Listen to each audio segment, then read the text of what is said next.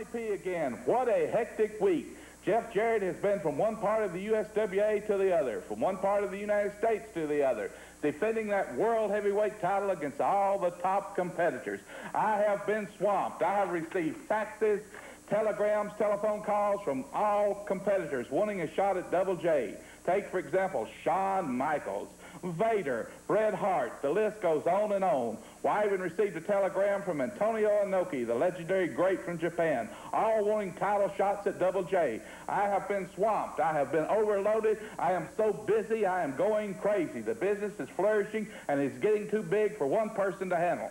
Poor old Frank Morrell. His health is deteriorating every day. I cannot depend on Tony Falk. He is driving thousands and thousands of miles every day, but his mental capacity, you, everyone knows it. I cannot depend on him for anything. He has no help whatsoever.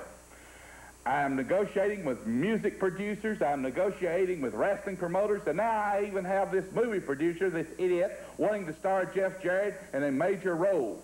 I am going to have to receive from help. I don't know what to do. I am spreading myself too thin. I've got an ad in a major publication for a new personal secretary, a private secretary, which I will be interviewing for this week.